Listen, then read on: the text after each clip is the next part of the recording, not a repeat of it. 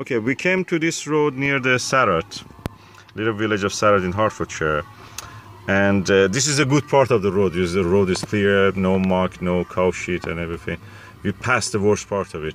This is behind us.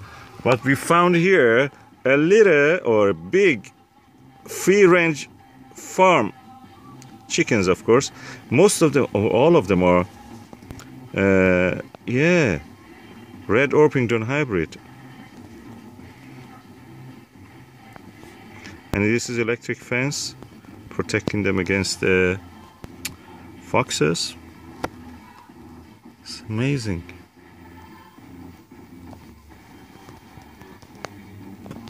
So this is the way they keep their chickens free range. And we are doing exactly the same in our allotment.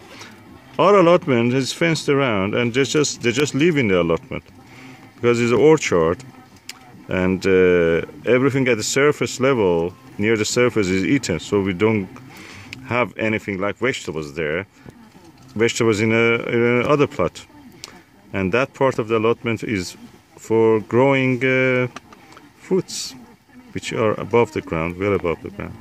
Chickens cannot have access to them. Look at them, how many, how many chickens here.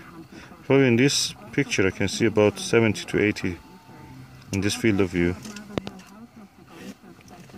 Chickens. Some of them are really lovely and big.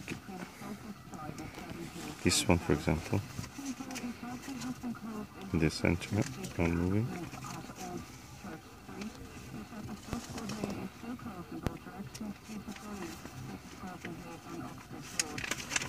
That is beautiful.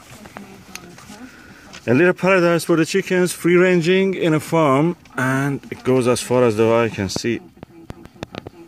From here, going to the horizon.